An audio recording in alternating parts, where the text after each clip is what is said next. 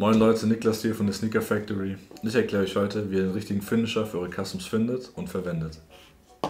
Die Acryl-Finisher von Angelus kannst du auf deine Lederschuhe auftragen, um der Farbe einen anderen Look zu geben und sie zusätzlich zu schützen. Insgesamt haben wir vier verschiedene Finisher. Die verschiedenen Finisher liefern einen unterschiedlich glänzenden Look. Die Reihenfolge von wenig bis sehr viel Glanz ist wie folgt. Matt, Satin, Normal, High Gloss. Du kannst im Finisher auch Angelus Dollar hinzumischen, um einen noch matteren Effekt zu erreichen. Das Ganze geschieht dann im Verhältnis 1 zu 8.